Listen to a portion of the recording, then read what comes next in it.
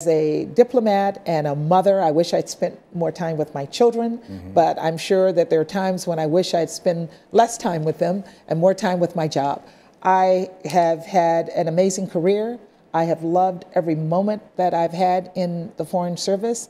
I don't even regret being in Rwanda during the genocide, even though it was a life changing experience. Terrific. Uh, let's talk very briefly about South Sudan. Yes. Are you concerned about what is happening there? That is a understatement. Understatement? It is an understatement. I am absolutely uh, appalled by what is happening in South Sudan. Uh, the number of, uh, of deaths that have occurred, the number of people who have uh, fled their homes, and the fact that the fighting is continuing.